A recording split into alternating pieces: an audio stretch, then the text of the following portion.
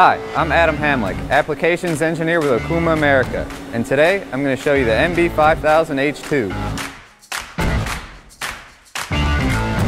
After making its debut in 2018, the MB5000H2 continues to evolve with even more game-changing functionality for your shop floor.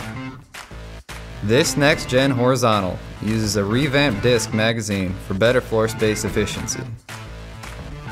The MB5000H2's automatic tool changer servo shutter allows for quicker opening and closing of the tool change door, resulting in even shorter cycle times. The roller cam gear driving the B-axis gives you more dynamic and fluid movements. Modular way covers protect the internal components of the machine while ensuring easier maintenance procedures.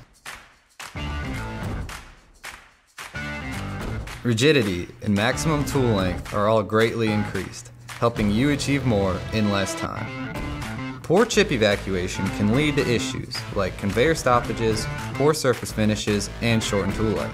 The MB5000H2 has an improved chip evacuation system to cut down on any of these issues.